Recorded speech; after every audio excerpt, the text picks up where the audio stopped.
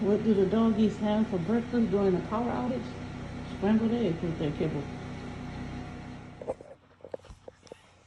Obviously, it's time for lunch because somebody is trying to get on my lap to remind me.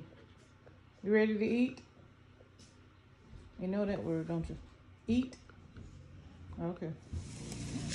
Good Sunday morning, folks. After two days of no power from the tornado weather, we're out here working at the house. I'm going to cut the grass, place some of these trees in the empty pots. The puppies are walking around. Pop Pop is back there pushing a mower instead of riding. He's riding more, which he should be riding. And I'm going to weed whip. I'm going to cut this grass.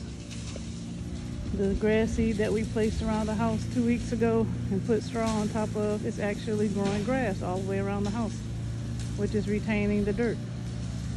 I'm so happy.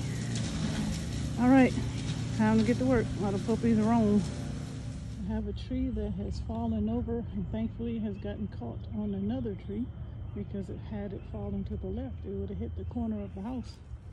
And there's a tree over here somewhere that's bent and split in half, but it's going to clear the house when it falls. So that's a good thing.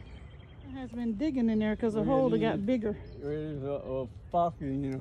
I hope it's it. not a fox. And sometimes there's a dog or a armadillo or something going or a rabbit. Uh-huh. A dog will dig, try to catch it. Oh, okay. So it may be for the deal. Whatever it is, it's Yeah. making this tree fall over. Yeah. Oh no, and it don't make the tree fall. Yeah, see the, the Uh-uh. trees. Let me see video.